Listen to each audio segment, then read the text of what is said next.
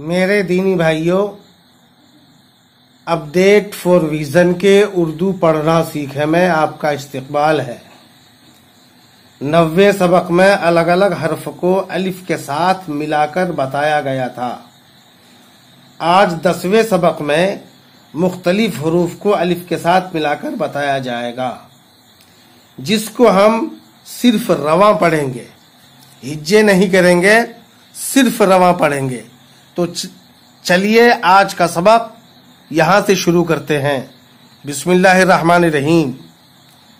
सा, या, का, ला, चा, हा, जा, रा, ता, पा, गा, ना, आ, या बा, ता, हा, रा, आ, का, गा, मा टा आ, ना डा का।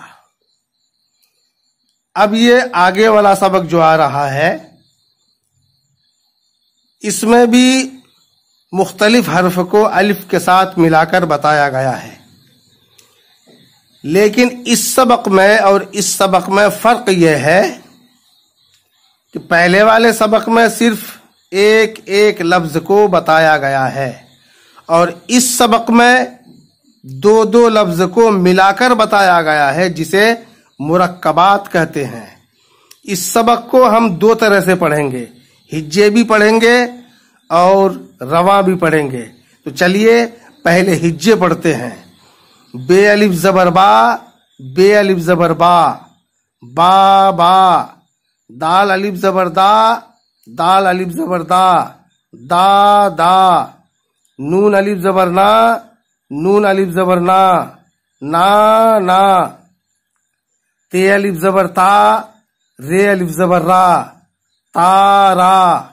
ते अलिफ जबर ता, लाम अलिफ जबर ला, ता, ला, दाल अलिफ जबर दा, ते अलिफ जबर ता, दा, ता, अलिफ मत जबर आ, जीम अलिफ जबर जा, आ, जा, गाफ अलिफ जबर गा, रे अलिफ जबर रा, गा, रा, वाव अलिफ जबर वा, लाम अलिफ जबर ला, वा, ला। अलिफ मत जबर आ, ये अलिफ जबर या, आ या, जीम अलीफ जबर जा, रे अलीफ जबर रा, जा रा, पे अलिफ जबर पा, नून अलीफ जबर ना, पा ना, अलीफ मत जबर आ, पे अलीफ जबर पा, आ पा, जीम अलीफ जबर जा, नून अलीफ जबर ना, जा ना।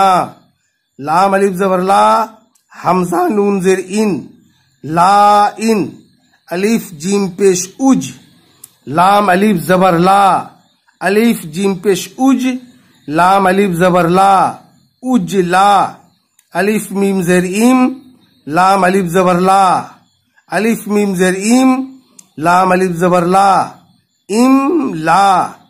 इस तरह हिज्जे करके पढ़े, अब सिर्फ़ रवा पढ़ेंगे। बाबा, दादा, नाना, तारा, ताला, दादा, दाता, आजा, गारा, वाला, आया, जाड़ा, पाना, आपा, जाना, लाइन, उजला उजला। इमला इमला।